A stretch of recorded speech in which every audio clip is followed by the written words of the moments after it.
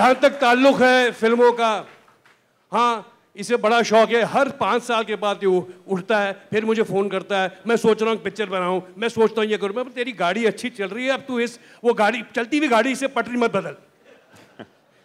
So he he keeps threatening of making films because obviously he uh, बहुत नाम रोशन किया है मल्होत्रा साहब का।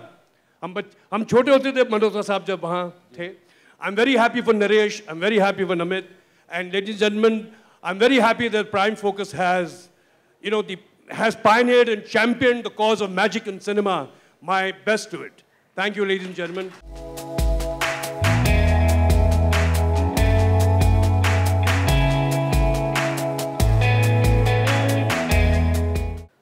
Amit ji आए थे I think from a shoot मर्द में after myasthenia gravis if I remember very well and you were shooting in uh, Chandivali studios and I had gone to meet him तो खाने पे बैठने वाले थे और उन्होंने कहा कि आओ टीनो खाना खाओगे? तो मैं कहा नहीं जी आ, नहीं खाना भूख भूख नहीं है। लोग कहते हैं जो बांट के खाते हैं उनकी उम्र लंबी होती है और सेहत भी अच्छी रहती है।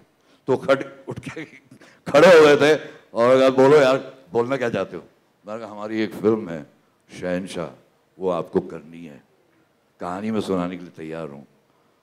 खाने के बारे में जब उन्होंने सोचा, पेट के बारे में जब देखा तो उन्होंने कहा, भैया, कहानी सुन लूँगा, पिक्चर हम करेंगे।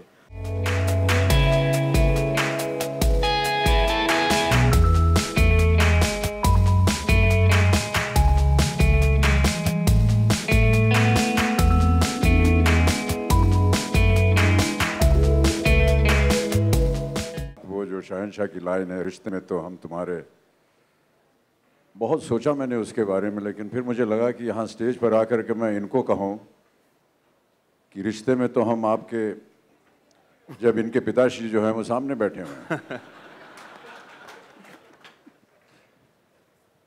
और ना ही मेरा नाम शाहिन शाह लेकिन thank you so much Naresh ji and Amit for calling me here today बहुत सारी अच्छी अच्छी बातें अभी बताई गई। बहुत सारी पुरानी कहानियाँ बताई गई। कालिया की बात हुई शहनशाह की बात हुई और टीनू आनंद ने बहुत सारी अच्छी अच्छी बातें की कि किस तरह वो फ़िल्म बनी और कैसे बनी। जो ख़ास वजह थी वो उन्होंने बताई नहीं कि कालिया कैसे बनाई गई और उस पर कैसे उनको अनुमति मिली बनाने की मुझसे। बात दरअसल यह है कि कालिया की जब बात हुई तो कहानी सुनने के बाद इन्होंने कहा कि अब आपके डेट्स चाहिए होंगे, समय चाहिए होगा। और व्यस्तता के कारण मैं अपना समय नहीं निकाल पा रहा था। तो हर जन्म दिवस पे मेरे टीनू और बिट्टू एक केक लाते थे मेरे लिए। और उस पर बजाय ये लिखें कि हैप्पी बर्थडे टू यू लिखते थे, Kalia is one year old. फिर भी समय ना मिलता डेट्स का।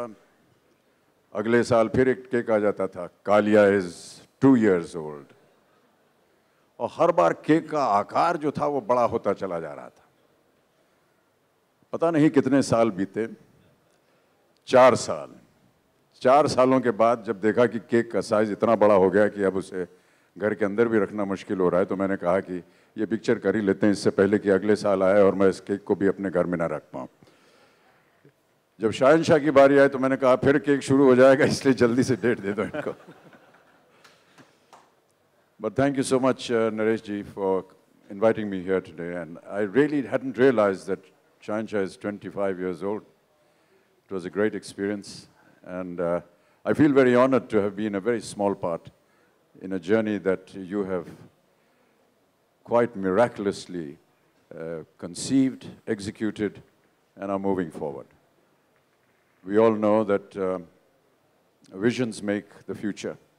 And you had the vision, and you had the expertise and the direction, the correct direction to give, and that's how today Prime Focus has become a worldwide name. My congratulations to you, and all the very best to Prime Focus. Thank you so much.